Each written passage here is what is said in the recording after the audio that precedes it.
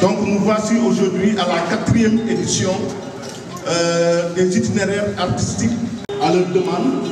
Et nous sommes là aujourd'hui